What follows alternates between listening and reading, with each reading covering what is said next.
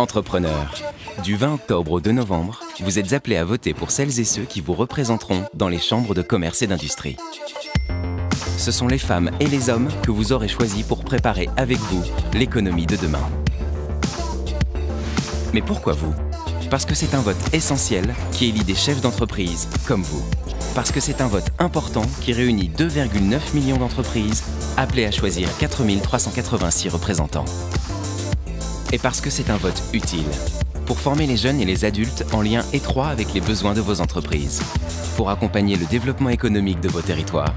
Pour représenter vos intérêts à l'échelle territoriale et régionale, nationale et européenne. Pour accompagner toutes les entreprises de leur création à leur transmission en passant par leur internationalisation.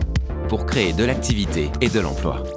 Vous êtes entrepreneur individuel, chef d'une TPE, d'une PME ou d'un grand groupe? Entreprise du commerce, des services ou de l'industrie, vous avez tous le même droit.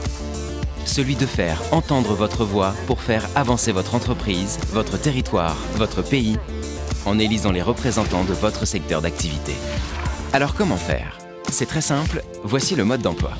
Vous recevez un courrier de votre CCI avec tous vos outils pour voter et il vous suffit de renvoyer vos choix dans l'enveloppe affranchie avant le 2 novembre minuit.